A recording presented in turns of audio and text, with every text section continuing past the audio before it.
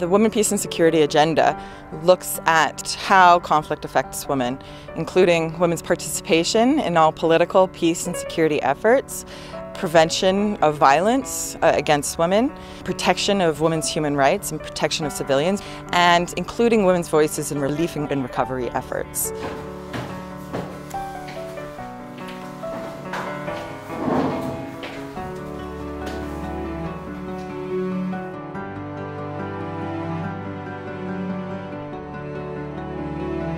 My future society would look like a society that would empower women, but not only locals, and also refugees and also migrant women to come all together, listen their experiences and heal their traumas and see their opinions on what do they want in the region that they live right now and try to include their perspective as well.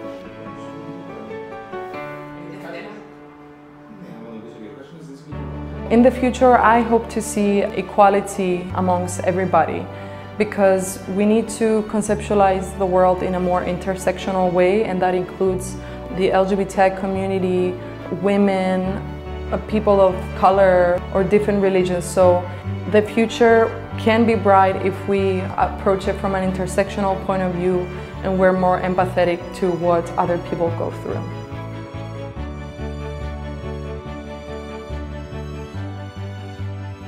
I would want more women, and more people actually, to uh, listen to themselves a bit more and trust their instincts and to pursue what it is that they want because at the end of the day, no one knows you the way you know you. So I think I would like women to take more initiative, to believe in themselves.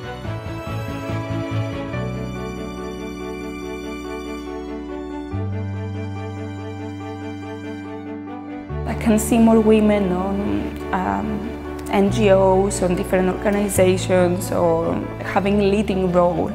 But I would love to see them having more active role and a leading role uh, in peace talks in Cyprus.